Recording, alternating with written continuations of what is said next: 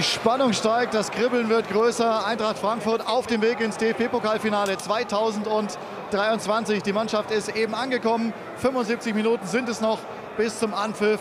Und wir sind hier jetzt im Berliner Olympiastadion.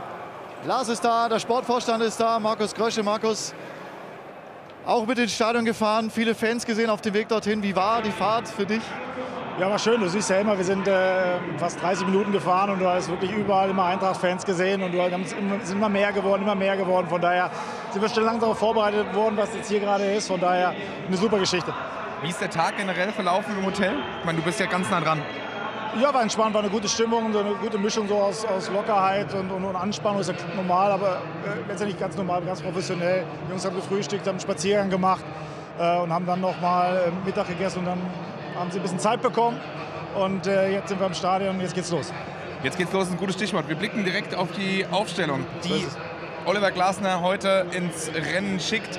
Es ist äh, in Anführungszeichen wenig Überraschung. Kevin Trapp hinten im Tor. Die Dreierkette Indika, Hasebe, Tuta.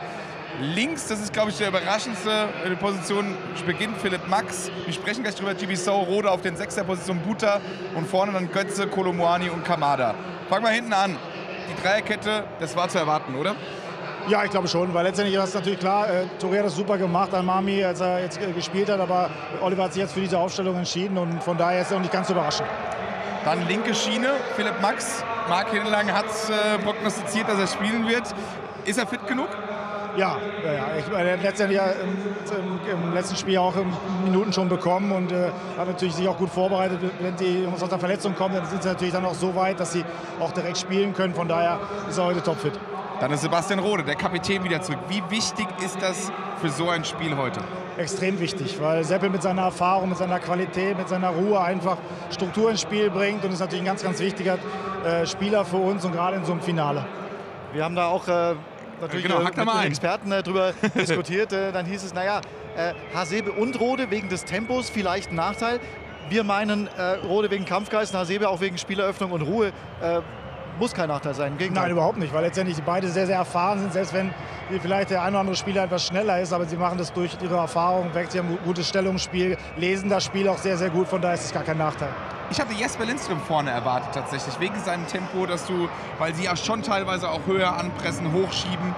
Für dich eine Überraschung, dass trotzdem Kamada und Götze beginnt? Nee, ich meine, letztendlich Deutsche hat es sehr, sehr gut gemacht. Ich glaube, dass Jesper von der Bank uns einfach noch einen großen Impact geben kann. Einfach. Er hat natürlich nach seiner langen Verletzung ein bisschen ähm, Rhythmus noch nicht, den richtigen Rhythmus noch nicht. Das ist in so einem Finale natürlich extrem wichtig. Äh, und dann kann er von der Bank kommen und dann äh, auch heute ein entscheidendes Tor schießen. Wie erwartest du die Leipziger? Ja, Leipzig ist eine gute Mannschaft, die natürlich äh, ähm, auch sehr, sehr viel Selbstvertrauen hat und die natürlich auch vorne Geschwindigkeit haben. Aber sie sind letztendlich auch im Umschaltspiel, gerade wenn wir Balleroberung haben, sind sie auch anfällig. Und das ist letztendlich das, was wir heute machen wollen. Lass uns mal auf die Leipziger Aufstellung, wir haben sie, die wurde gerade getwittert tatsächlich, mal draufschauen, wer beginnt. Das ist zwar ohne taktische Ausrichtung, aber vielleicht können wir zu dritt das Ganze ein bisschen entschlüsseln. Also Blasic im Tor, das ist relativ klar. Orban wird hinten in der Innenverteidigung spielen. Wahrscheinlich mit Klostermann oder Halstenberg, einer von den beiden dann auf der linken.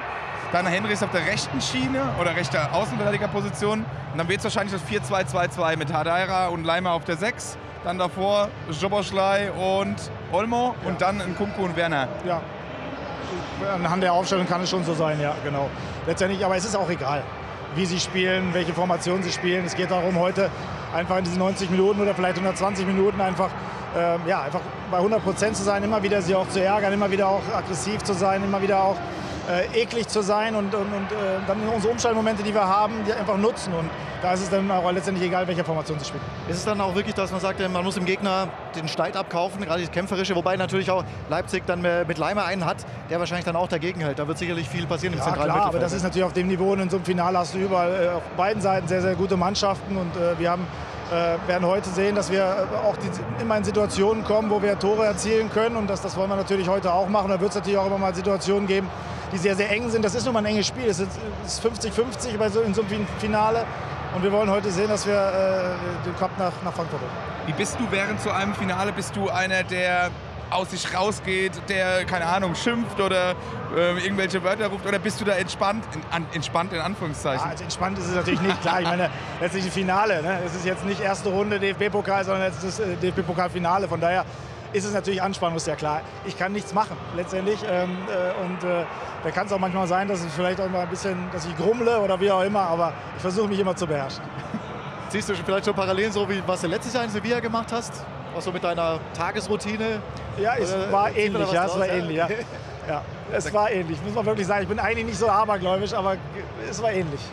Da kommt der Fußballer dann aus dem so raus auf sein. jeden Fall. Markus, vielen lieben Dank, dass du dir Zeit genommen Sehr hast. gerne. Äh, Wir wünschen dir ein grandioses Finale und am Ende den nächsten Titel. Danke, Dankeschön, dass du da warst. Wir uns zum gerade ab? Siegerinterview. Dankeschön. So, also das war unser Sportvorstand Markus Krösche. Wir blicken mal, was heute Mittag passiert ist. Am Breitscheidplatz, da haben sich die Fans versammelt und da hat die Luft richtig gebrannt.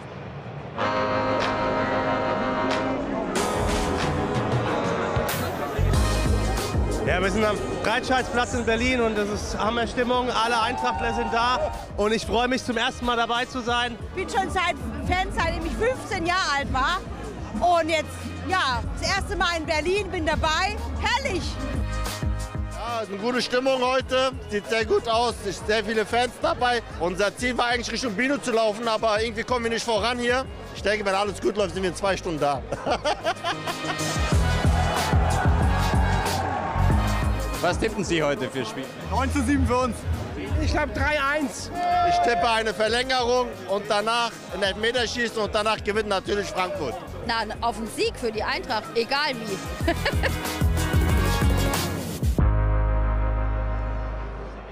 Wie gut, dass wir nicht in der Not sind, äh, Suche Ticket, äh, biete Körper sagen zu müssen. Das wäre eine schwierige Suche. Das stimmt, Also bei ja. mir schwieriger als bei dir, muss man sagen.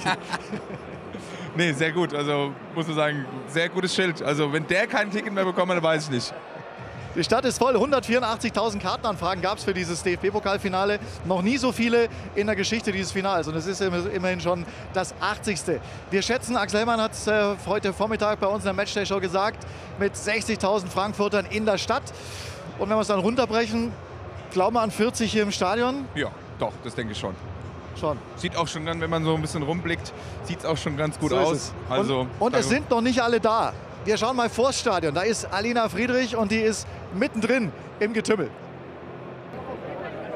Ja, ihr Lieben, die Stimmung hier vorne, die ist richtig, richtig gut. Ich stehe jetzt vor dem Stadion, in dem Bereich, wo unsere Eintracht-Fans sich aufhalten. Und äh, es sind richtig viele. Am Anfang hat es ein bisschen überfordert. Man hat überhaupt gar keinen Überblick mehr. Man hat überhaupt keinen Überblick mehr, äh, wer wo steht. Man würde hier auch, glaube ich, niemanden mehr finden. Aber ich habe den Jakob angetroffen. Der Jakob ist Eintracht-Fan.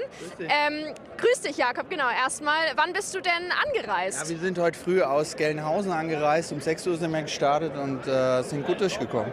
Und du bist schon Eintracht-Fan, wie lange? Ah, seit dem Relegationsspiel gegen äh, Saarbrücken. Hast du den Fanmarsch zufällig vorhin mitgemacht? Ich bin mitgelaufen. Ja. Wie war's? An. Ja, schön. Also mein erster Fanmarsch in Barcelona habe ich leider verpasst wegen Corona, aber jetzt bin ich froh, endlich dabei zu sein. Und ähm, zum Schluss nochmal die Frage aller Fragen. Warst du 2018 auch schon mit dabei? Ja, ich war 2018 auch dabei mit meinem Freund und äh, es war also äh, von jeder Sekunde an mega spannend und ich hoffe äh, natürlich auf dasselbe Ergebnis heute Abend. Das wäre meine nächste und letzte Frage gewesen an dich, Jakob. Was tippst du?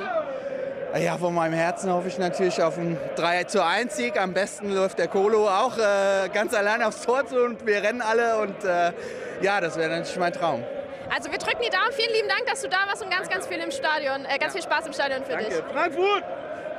Also so viel von Jakob, unserem Eintracht-Fan. Und wir geben in diesem Sinne auch wieder zurück zu euch ins Stadion. Wir versammeln hier nochmal so ein bisschen die Stimmung und äh, gleich geht's dann rein. Ja, sieh zu, Alina, nicht, dass du den Anpfiff hast. Vielen Dank, Jakob und Alina.